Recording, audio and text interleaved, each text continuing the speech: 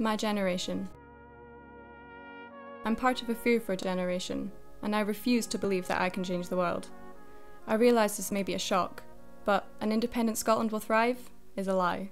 The UK is better together. So, in 30 years, I'll tell my children I vote with my head. I have my priorities straight. The Union is more important to me than Scotland.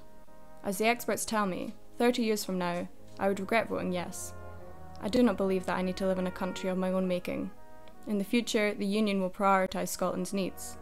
I and I completely reject any suggestion that Westminster only wants us for our resources. The fact is, my generation is fearful and unambitious.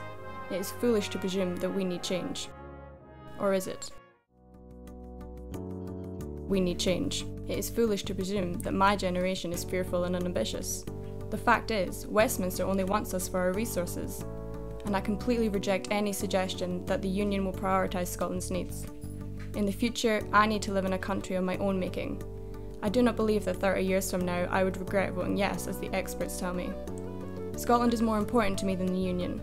I have my priorities straight. I vote with my head. So, in 30 years, I'll tell my children the UK is better together is a lie. An independent Scotland will thrive. I realise this may be a shock, but I can change the world and I refuse to believe that I am part of a fearful generation. On September the 18th, vote yes.